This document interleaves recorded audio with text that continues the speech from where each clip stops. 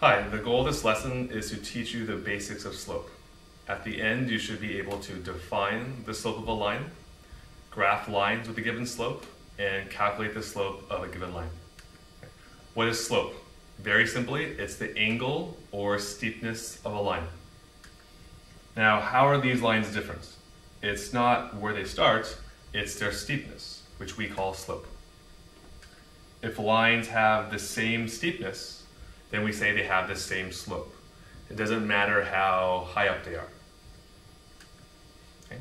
Now, we know that this line is steeper than this line. The question is, how do we measure slope? How do we use numbers to describe the steepness of lines? Well, if we look at this line, we see that as x increases by 1, y increases by 1. Here, as x increases by 1, y increases by 3. So the difference is how much y is changing compared to how much x is changing. Okay? And that, in fact, is the definition of slope. Slope is the change in y divided by the change in x. In other words, it's the vertical change divided by the horizontal change. Okay? So let's calculate the slope of this line. So we pick two points, here and here, and we count the change in y and the change in x. Here it's 1 over 4. So we say the slope is 1 fourth. This means that as x increases by 4, y increases by 1. Again, we know slope is change in y over change in x. So we count 4 for change in y and 3 for change in x. So the slope is 4 thirds. What does that mean? It means as x increases by 3, y increases by 4. Okay. Let, again, let's pick these two points and count the change in y and change in x. So here the slope is 1 third. You may be thinking, well, what if we pick different points? Would we get the same answer? Well, if you're thinking that, you can answer your own question. Just pick any two points and see what you get.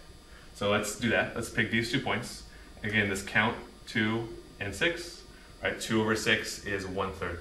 So we get the same answer no matter what two points we pick. And that should make sense because what are we calculating? Slope. Well, what is slope? The steepness of the line. Is the steepness here the same as the steepness here? Yeah, so it doesn't actually matter which two points we pick. The, the steepness is the same everywhere on the line. Okay, let's practice the reverse process. Now we're drawing lines with a given slope. So let's draw a line with a slope of 2 thirds. So what does that mean? Again, it means as x increases by 3, y increases by 2. So we start from our point and we go right 3, up 2. Right, as x increases by 3, y increases by 2. And we connect. Okay. A slope of 3 fifths, what does that mean? Again, it means as x increases by 5, y increases by 3. So we have our points, we go right 5, and up 3. Right 5, up 3. Okay, let's practice how to plot points for a given slope. The number 4 is the same as 4 over 1. So what that means is as x changes by 1, y changes by 4. So we go right 1 and up 4. For 7 thirds, we go right 3 and up 7. 6 is the same as 6 over 1. So as we go right 1, we go up 6. For one third, we go right three and up one. Okay. Let's consider a new case here. We know that as lines get flatter and flatter, their slopes decrease. So what number are these slopes approaching? Well, zero. So it makes sense then that a horizontal line has a slope of zero. And we can calculate this in the normal way. We pick two points. In this case, there's no change in y. The change in x is 4. So the slope is 0 over 4, or 0. Okay. What this means is as x increases, y does not increase. Okay. Let's consider these lines down here. Well, here the slope is positive. They decrease, decrease, decrease. We get to 0. If we keep decreasing, well, what's less than 0? Yes, negative. So the slopes down here have negative slope. So just to be clear, what does positive slope mean? Positive slope means as x increases, y increases also. In other words, we go right and up. Zero slope means as x increases, y does not increase nor decrease. Negative slope means, again, negative just means opposite. So we're doing the opposite here.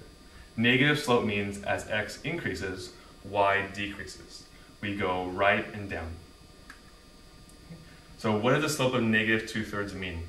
Well, it means as x increases by 3, y decreases now by 2. A slope of negative 2, well, that's the same as negative 2 over 1. So as x increases by 1, y decreases by 2. Okay, let's calculate the slope. Just like before, we count the change in y and count the change in x and divide. So here y is decreasing by 4 as x increases by 3. So the slope of this line is negative 4 thirds. So in summary, slope, very simply, is the angle or steepness of a line. Well, how do we calculate slope? We pick two points, any two points, and we count, we calculate the change in y, and we divide that by the change in x. A shorter way of writing this is delta y over delta x. This is the Greek letter delta. It mean it stands for change in. So these mean the exact same thing. We know that slope can be positive, zero, or negative. Positive slope means as x increases, y increases also. Zero slope means as x increases, y neither increases nor decreases. And negative slope means as x increases, y decreases. Okay. That's the end of the lesson. Please keep watching for the slideshow practice. It's really important that you test yourself. One, because it's more effective than just hearing someone else say the answer. And two, because it tells you whether you understand or not. Thank you for watching.